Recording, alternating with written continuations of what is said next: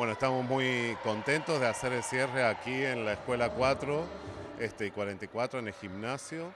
Este, realmente eh, las actividades que se han ido desarrollando, bueno, se están presentando ahora como una síntesis de todo lo que se ha trabajado en el año.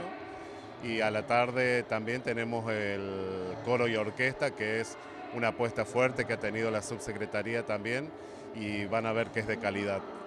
Seguro. Bueno, también eh, se ha trabajado, como hemos visto en esta muestra, durante el año en diferentes actividades, desde eh, distintas áreas también de la Dirección Provincial de Educación Física, bueno, todos colaborando hoy en esta jornada también. La idea es que las actividades eh, estén desarrolladas hacia lo que es la educación integral también de los niños, que sea un complemento más de lo que van aprendiendo cotidianamente en las aulas. ¿Esto se le, va, eh, se le va a seguir dando continuidad, ministro? Sí, esto va a tener continuidad para el año que viene y justamente ahora tenemos la visita de la directora nacional de política socioeducativa que ha venido al cierre, así que está muy contenta y participando también con los chicos de todas las actividades. Bien, también se va a hacer lo mismo en, en la ciudad de Ushuaia sobre el cierre de estas actividades. En la ciudad de Ushuaia ya se hizo el cierre y eh, ahora van a participar, también vienen una delegación de Ushuaia para unificar, eh, hacer el ensamble con el coro y orquesta para esta tarde.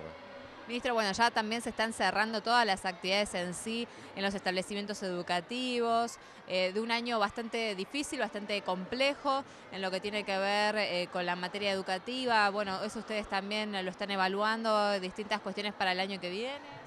Sí, lo que estamos por hacer ahora en el mes de diciembre con los distintos equipos, hacer una evaluación de todos los niveles y modalidades para ver en qué tenemos que optimizar eh, los recursos y hacia dónde vamos a enfocar las políticas educativas también de la provincia en consonancia con lo que hemos tenido en el, Consejo Federal de Educación, eh, especialmente en, estas en estos últimos meses, donde hemos planteado a nivel de todos los ministros de, la Argentina algunas cuestiones que son necesarias que trabajemos ya para el año que viene.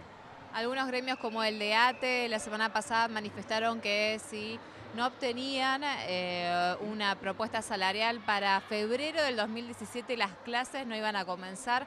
Ustedes esto, bueno, ya también eh, lo han evaluado, esta posibilidad, están trabajando con algún gremio. Nosotros estamos trabajando en conjunto eh, con otros ministerios es decir, no son decisiones del ministro de Educación nomás, pero estamos trabajando con el ministro de Economía, con el ministro de Gobierno, con el ministro de Trabajo, para ver las respuestas que vamos a dar. Bueno, esto de todas formas ustedes, eh, bueno, es una señal de alerta para el próximo año. Sí, sí, por supuesto, pero también nosotros estamos trabajando en las propuestas necesarias.